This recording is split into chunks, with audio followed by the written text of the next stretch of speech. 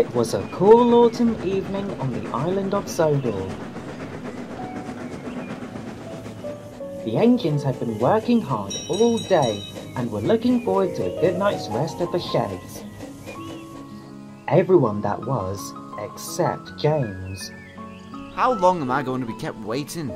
At this rate, the sun will be down by the time we reach Edward's Station. Don't worry, James. I'm sure we'll be back home in no time at all. Just have a little patience. Oh, I hope so. I hear there's going to be fog this evening. I shouldn't like to get lost in it, that's for sure.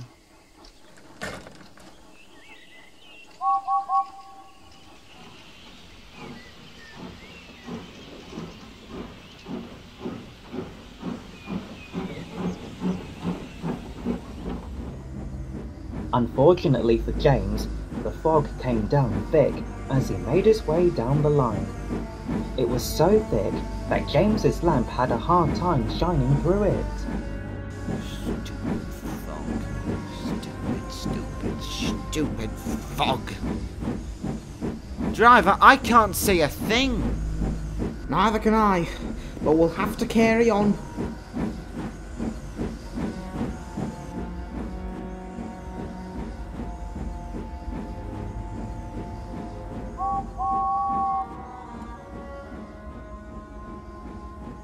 Because the fog was so thick, neither James nor his crew realized that an old set of points had redirected them onto an old line that ran deep into the woods. Oh, bother. What stupid thing points are? I don't even recognize this line. Calm down, James. We'll just go back and let the signalman know about the points. Good. Honestly, why doesn't the fat controller just get rid of these disused?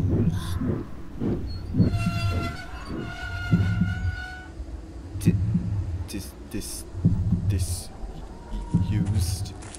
James, is everything all right?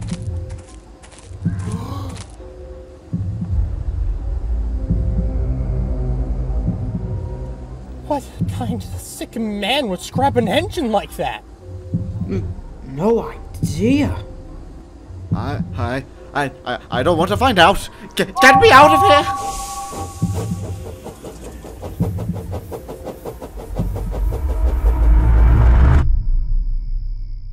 At the sheds, all the other engines were settling in for the night. Except Thomas, who was worried about James. Where's James? He's usually here by now. I wouldn't worry too much about it, Thomas. He must have been held up by a signal. I'm sure he'll be here in no time at all. Ah, speak of the devil.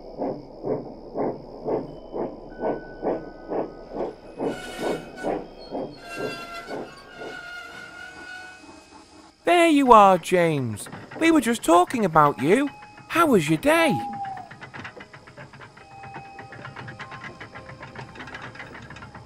James, are you all right?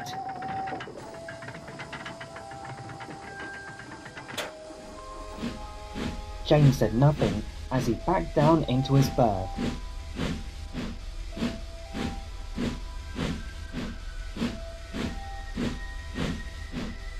He was unusually quiet and looked very pale.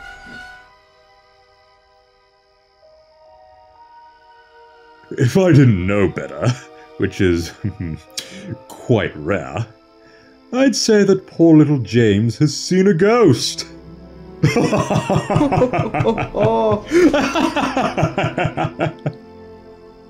Well, I well I did see something. what is it? Oh, the scary Jack Frost come back to pay you a visit? I uh I saw a scrap engine. That's it? I understand it is rather distressing to see those poor souls, but you've seen them hundreds of times, James, and never once have you looked this disturbed. This one was different. How so, James? Well, well, it was cut in half. clean through the middle without a fault at all. And its other half wasn't anywhere to be found. It, it wasn't like anything I'd ever seen before. All the other engines were very disturbed by what James had said. Even Gordon, who was now regretting teasing James. James, you must have seen a victim of the half engine. Are you serious right now, Thomas? I am in no mood for your teasing tonight. I'm not teasing. I know why that engine is like that. Go on then, Thomas. Tell us. Well, many years ago, before the Fat Controllers Railway was the Fat Controllers Railway, there were several engines that were brought in to help run and maintain the railway. I was one of these engines, along with several others. However, there was one that was different. Something horrible went wrong during her construction, for she only had half of a face, the other half being her smokebox door. We could hardly understand what she was trying to say. Maintenance on her was a nightmare to watch or listen to. And through all of this, she was in immense, excruciating pain. Her cries and pleas for the pain to go away were so horrid that me and the other engines could hardly stomach it. But the nastiest of us, and even some of the crews, found it a great joke. This would all boil up inside of her, and one day she changed for the worst. She became much more aggressive, snapping at anyone who she came across, even to those who felt pity for her. And to make things worse, at night she travelled out of the sheds and down a heavily forested line. And when she returned, she would do nothing but talk about how we and the whole railway would perish in her garbled, barely identifiable speech. Some of us, myself included, believed she had been driven mad by all the pain she was enduring, seeking any way to be rid of her deformity. Eventually, the Fat Director had had enough. He ordered another engine to take her away to be cut up for scrap. At that same time, me and another engine were heading back home. As we made our way down the line, we could see smoke and the sounds of multiple fire engines. We rushed to see what had happened. And it's a sight I'll never forget.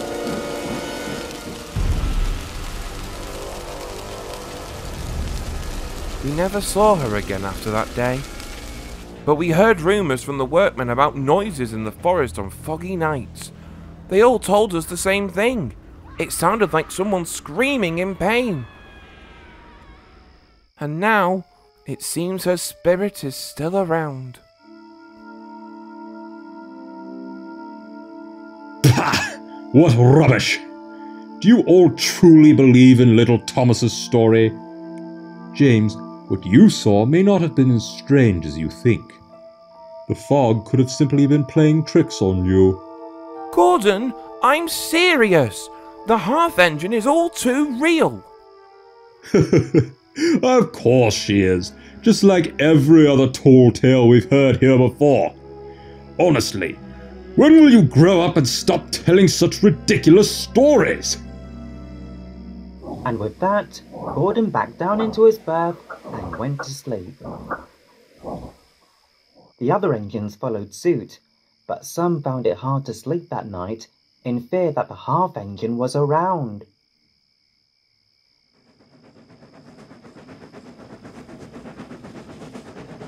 The next night, Gordon was returning home with some empty pages after his last train of the day. Once again, the fog came down, much thicker than the night before.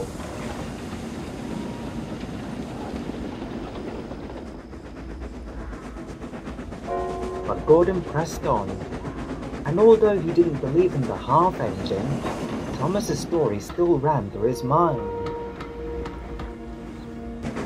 What if Thomas was right? What if there really is a. Oh, stop! Get a hold of yourself, Gordon! That Thomas was just playing a trick. He's always been that way.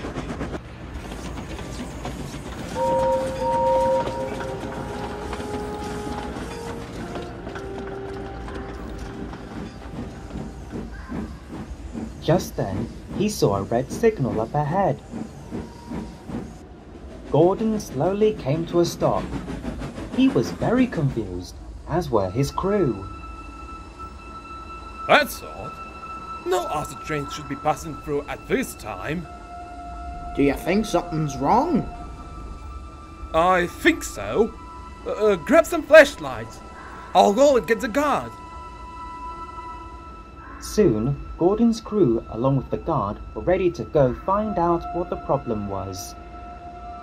Gordon's driver spoke to him. We'll be gone for a little bit, Gordon. We're heading up to the nearest signal box to see what's wrong. You can't be serious! You expect me to sit here in the fog in the middle of the main line until you get back? Yes, that's what we'd expect you to do. Sorry, Gordon, but there could be danger ahead, and we wouldn't want you getting into an accident. We've left behind some red oil lamps, so you won't have to worry about anyone crashing into you. We'll try to be as quick as we can, okay? Alright, but be quick about it. I just don't want to be left out in the cold any longer than I have to.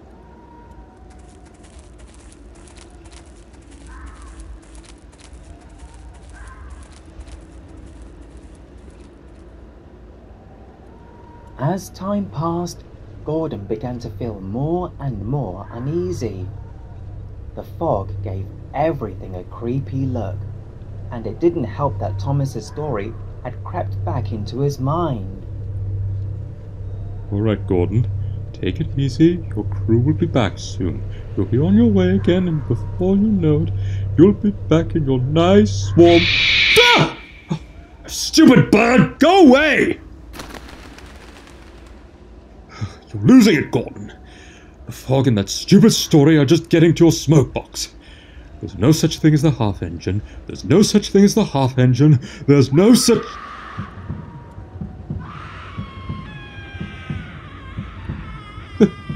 Hello? Whoever that is, th- this isn't funny. Knock it off.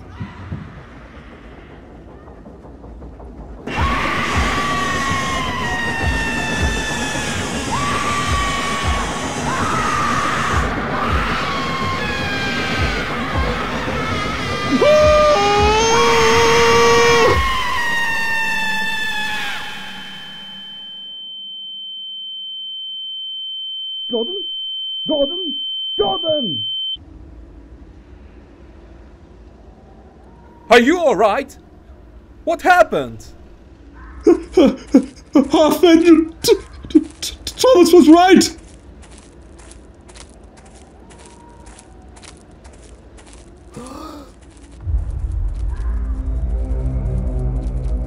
Now, how on earth did this happen? Gordon? Can you tell us? What's this about a half engine? It's nothing. N- nothing at all. Alright, if you say so. We'll leave the coaches behind and phone for help at the next signal box.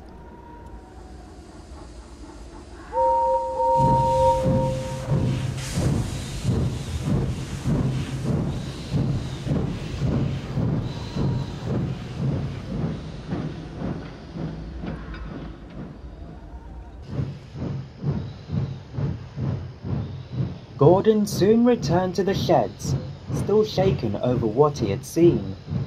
He said nothing as he backed down into his berth. But Thomas could tell that something was wrong. You saw her, didn't you? Yes. I. I did. I did warn you, Gordon. I guess you can consider yourself lucky tonight. No one ever comes back from an encounter with her. Gordon stayed up for a while that night. He was still deeply disturbed over what he had seen. If there was one thing he could be thankful for, however, it would be that the half engine didn't claim him as her newest victim.